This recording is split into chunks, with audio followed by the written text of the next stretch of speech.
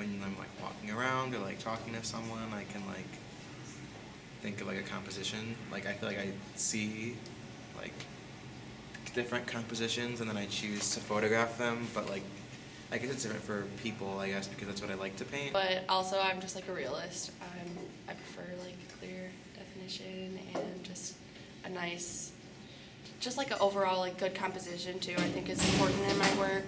I like something interesting compared to like just a normal photo out in front. I usually have an idea automatically right when I want to paint something, and then I um, very rarely change my idea when I um, have that idea in my head and then after I shoot the person. Like the process of like getting that idea out is really important, and I think that the way that I like to do things and the the compositions that I tend to gravitate towards, and I think that that's why I like to paint. I guess maybe because it's um it's like really gratifying, I suppose. Like that vision that I had, like all of a sudden be put onto something physical.